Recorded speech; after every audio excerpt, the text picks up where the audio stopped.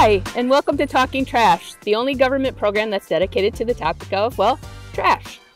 I'm Rhonda Oyer, and I'm a solid waste expert at the Michigan Department of Environment, Great Lakes, and Energy, and I talk trash every day. As part of this series, you'll learn all about materials management topics such as recycling, composting, landfills, and more. There's so much more to trash than what you put in your trash can. But what a great place to start! Let's go!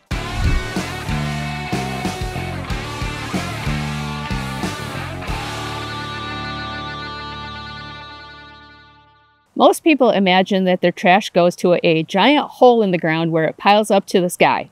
However, today's waste management strategies are much different. Our waste goes to a landfill, specifically a type 2 landfill that is designed to safely manage and contain our waste.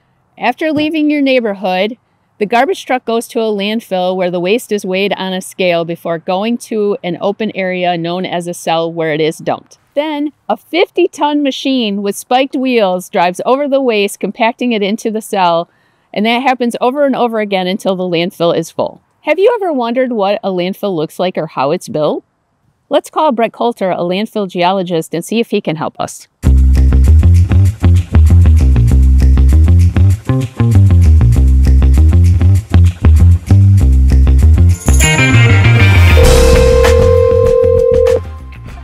Rhonda. Hi, Brett. Do you have a minute to talk about landfills? Yeah. So, landfills are built with a series of protective barriers to prevent waste from contaminating the surrounding environment.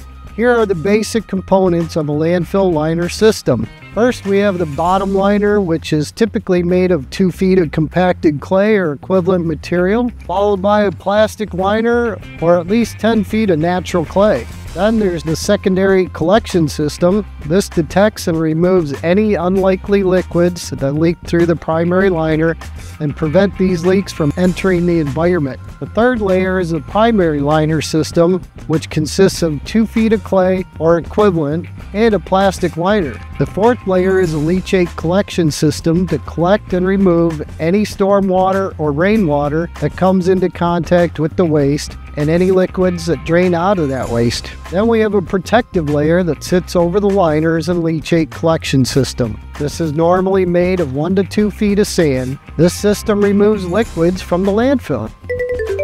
Wait, just a second. Who's calling me? It looks like it's Danya from our Kalamazoo office. She's our engineer down there. So I'm gonna go ahead and take this, but thank you so much for your help, Brett. Hey, Danya. Hey, Rhonda. I'm out at the Kent County landfill, and I heard you had some questions about how everything works. You heard right. Would you like to explain what happens when a landfill is full?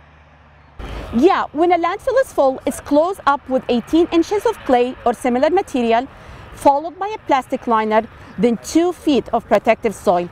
Then they place at least six inches of a topsoil that supports shallow rooted native vegetation. No trees can be planted though. Right, because the roots might puncture the liner. Exactly. Then once the landfill is closed, the cover, leachate, and the gas collection systems must be maintained by the landfill owner.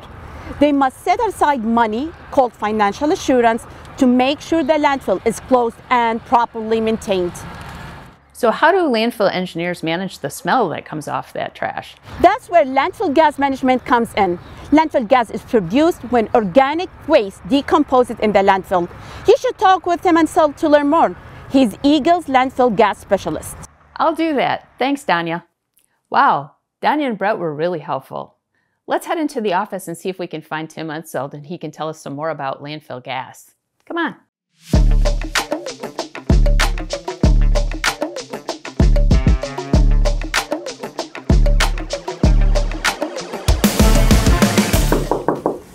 Hi, Rhonda. Hi, Tim. Do you have a minute I can talk to you about landfill gas? Sure, come on in. So I just got off the phone with Danya and Brett, and they were telling me a little bit about how landfills work. But I still have some questions, particularly about that smell. Can you explain that to me? Sure thing, Rhonda. That smell is landfill gas. When waste decomposes, it is broken down by bacteria into about 50% methane and 50% carbon dioxide and some other trace gases like hydrogen sulfide and mercaptans.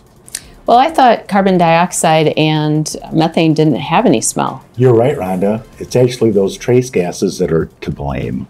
They have a very low odor threshold, and our nose can detect a very tiny amount. Fortunately, modern landfills have a system to collect this gas and turn it into something useful.